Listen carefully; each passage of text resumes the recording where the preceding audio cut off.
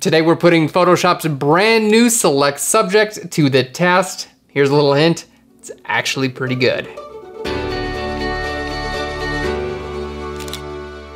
Hey there and welcome to Phlearn. My name is Aaron Nace. You can find me on phlearn.com where we make learning fun. And in today's video, we're gonna show you three different images that we're cutting out basically automatically using Photoshop's new select subject. Now, select subject as a feature is not completely new. Photoshop introduced this a couple of years ago, and honestly, it was just kind of okay, but using their AI tool called Adobe Sensei, it works surprisingly well. So we've got three different images today, uh, going from easy, medium, and then hard, and we're gonna show you basically how to cut subjects out with just a couple of clicks.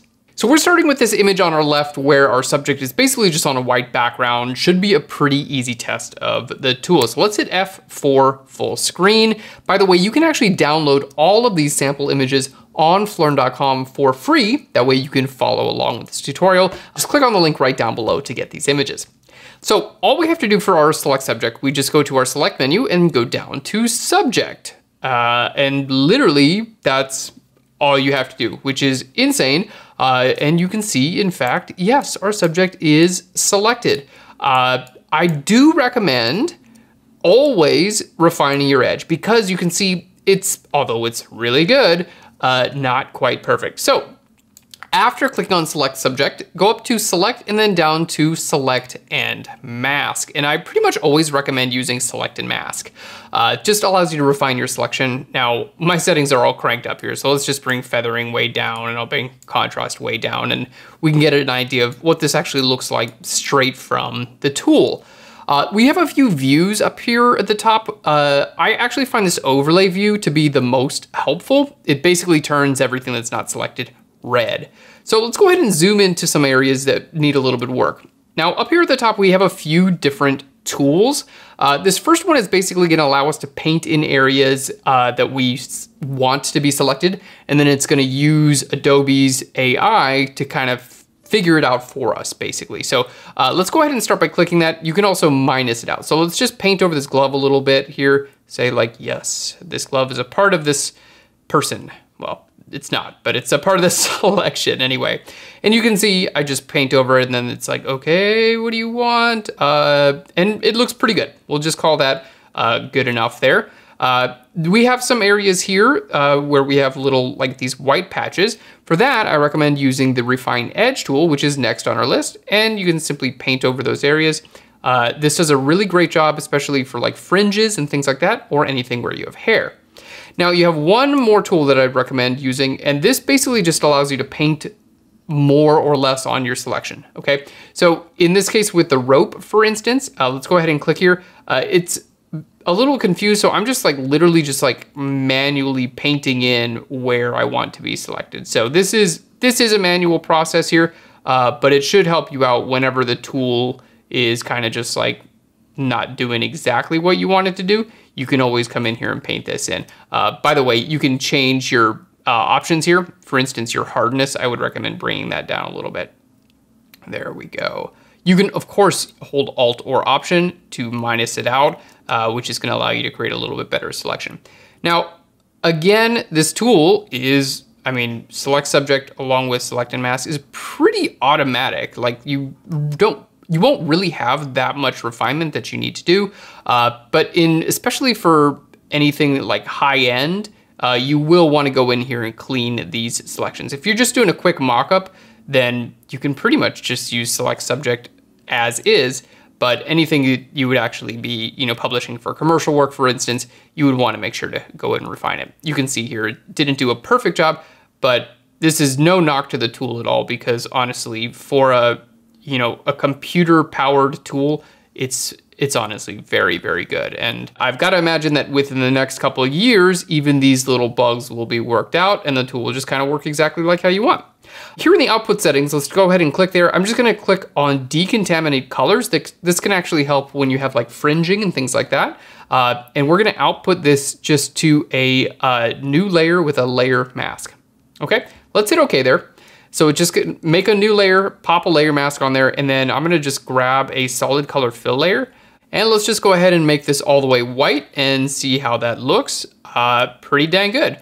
We'll just go down a little bit darker and you can see putting my subject on a variety of colored backgrounds here uh, works pretty well. We can grab a, a color from his pants if we wanted to and maybe lighten that up there a little bit.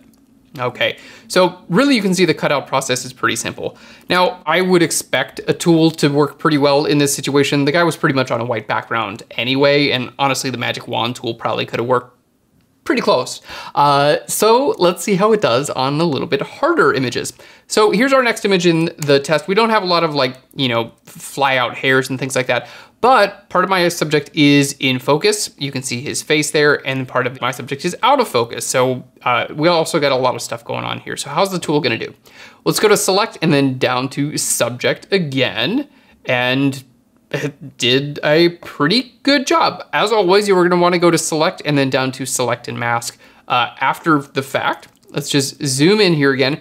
Now with hair, I would always recommend going in with this refine edge brush. Okay, let's just kind of paint in here the refine edge right along here. Honestly, this tool does such a good job. Cutting out hair is a very different process now than it was uh, even just a few years ago.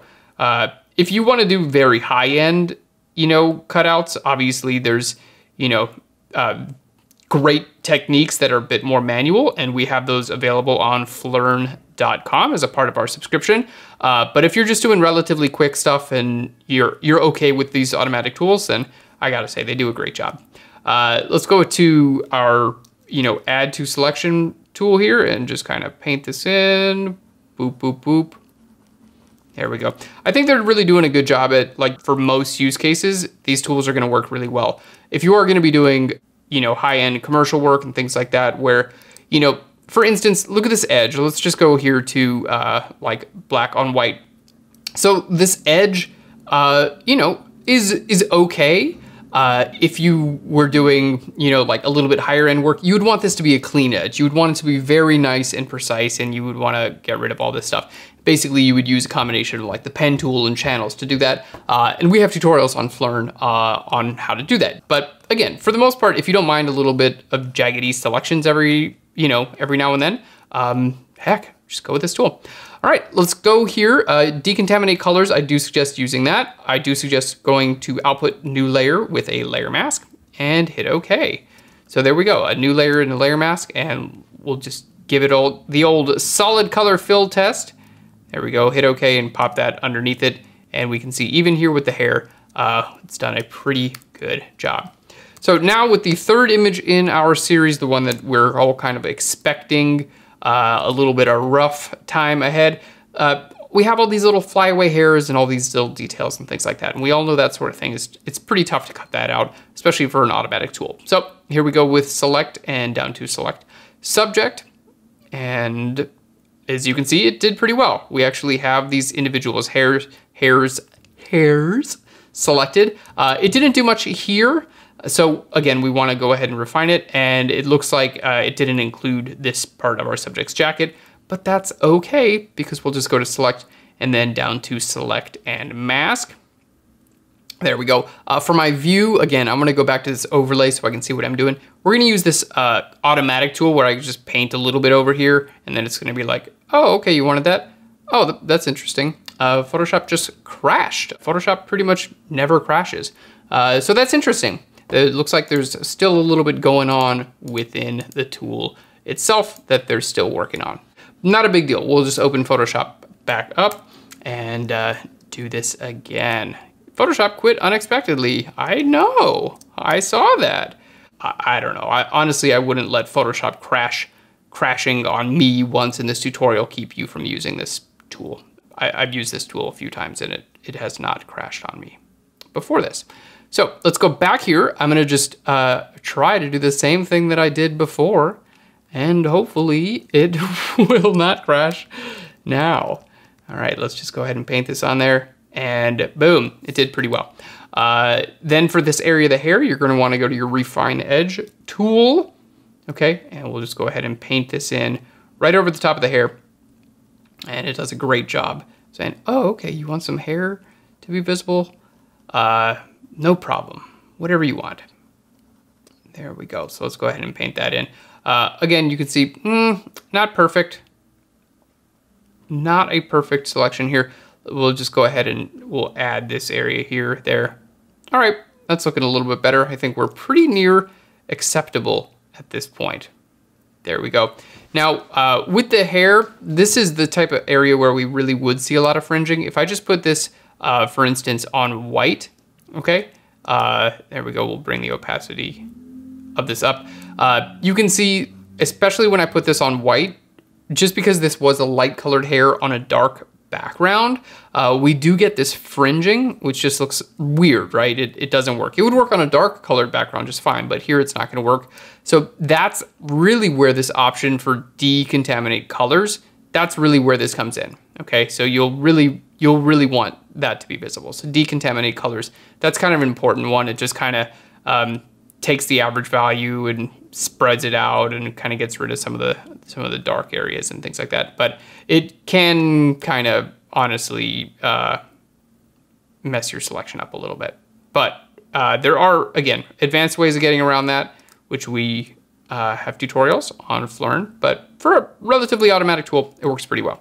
New layer with layer mask, let's hit OK there. Let's go ahead and stick this on a solid color fill layer to see behind it. Uh, that looks good. Let's go ahead and I'm just gonna put this right under. Here we can see on a light colored background uh, versus a dark colored background. Now it's looking a little bit better on a darker color background because my subject was on a dark colored background to begin with. Uh, this area needs a little bit of cleanup. It's, uh, you know, I would say okay, but I would definitely want it to be a little bit cleaner than that you know, but for a medium dark background and for some very automatic tools, it's really impressive. It, it's impressive that a, a, you know, a piece of software can just kind of figure all of this stuff out. So here you can see the before and afters. I think Photoshop's done a great job with this tool. They've specifically targeted people, so hair is included in these selections. Just make sure you're clicking on select and mask. Personally, I can't wait to see what Photoshop is going to be doing with their AI tools in the next few years. It's just gonna make uh, kind of the minutia of Photoshop a little bit easier, and that gives us more time as creatives to make fun projects, which is exactly what we want to do. Let me know what you guys think about AI and how it's changing the way you work with technology and computers and the way you create. Uh, I think it's really cool. I think it's also a little bit scary but that's a whole nother conversation. So let's get that going in the comments. Thank you so much. If you wanna get a free tutorial from us every single week, just click on that subscribe button. And if you wanna learn more on how to professionally retouch or composite images together, do things like frequency separation, check out Phlearn Pro. Click on your screen right now to learn more. Thanks so much. I'll Phlearn you later. Bye everyone.